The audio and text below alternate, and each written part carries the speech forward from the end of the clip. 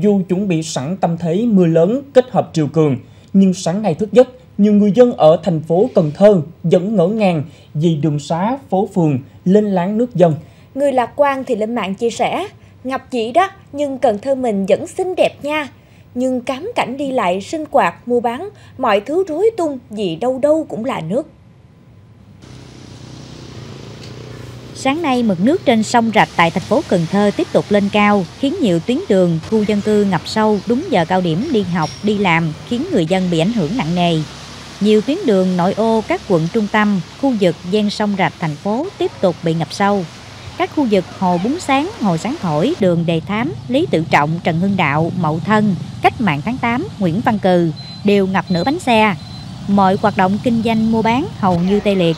Người dân lo đối phó nước tràn vào nhà, cả người mua và người bán đều chờ nước rút. Đài khí tượng thủy văn thành phố Cần Thơ cho biết, mực nước cao nhất tại trạm Cần Thơ trên sông Hậu đo lúc 5 giờ 30 phút sáng nay là 2m16, Dự báo đồng 3, 1 tấc 6. Dự báo chiều tối nay và sáng mai, mực nước có thể ở mức 2m22. Theo công văn của Sở Giáo dục và Đào tạo thành phố, tùy tình hình thực tế, các trường học có thể linh động sắp xếp việc đi học của học sinh trong các ngày nước ngập do triều cường. Một số trường cho phép học sinh được đi trễ hơn so với thông thường để né triều cường đến hết ngày mai 28 tháng 10. Cũng vì cơn mưa nặng hạt kéo dài gần 2 tiếng đồng hồ vào đúng lúc triều cường lên, khiến nhiều tuyến đường ở thành phố Sa Đéc, tỉnh Đồng Tháp hóa thành sông. Sau cơn mưa nước rút không kịp, tình trạng ngập ở thành phố Sa Đéc, tỉnh Đồng Tháp kéo dài đến gần 12 giờ trưa nay. Nước mới rút dần.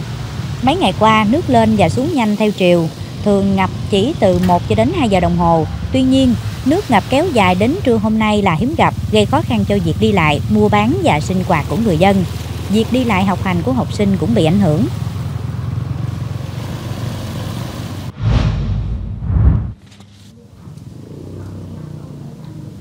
Còn tại Bạc Liêu, nước dân do triều cường và mưa cũng khiến nhiều khu vực ngập úng.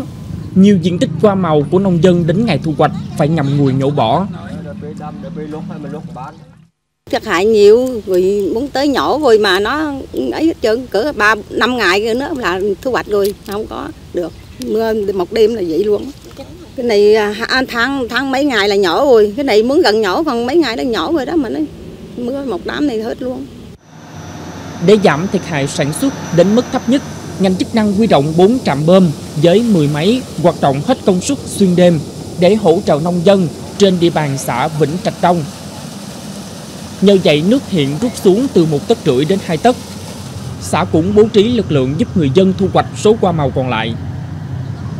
Theo Trung tâm Khí tượng Thủy văn tỉnh Bạc Liêu, từ ngày 25 đến ngày 30 tháng 10, triều cường trên địa bàn vượt báo động 3, mức nước cao nhất có thể đạt đến 2m2. Ngoài việc vận hành các cống, cầu sáng, cống gạch cần thăng, thì năm trạm bơm trên địa bàn thành phố cũng hoạt động xuyên đêm, sẵn sàng ứng phó khi có sự cố xảy ra. Rất nhiều nguyên nhân gặp lụt đô thị được đưa ra, trong đó có yếu tố nước đầu nguồn sông Tiền, sông Hậu năm nay cao hơn các năm trước đổ xuống, gặp nước từ cửa sông tiếp giáp biển đẩy vào. Cả hai phía dồn lại tạo ra áp lực triều cường làm nước dâng lên. Nhưng đâu phải chỉ là chuyện trên trời dưới sông ngoài biển. Những lúc không có triều cường, chỉ dài trận mưa lớn kéo dài thì đường phố cũng mênh mông.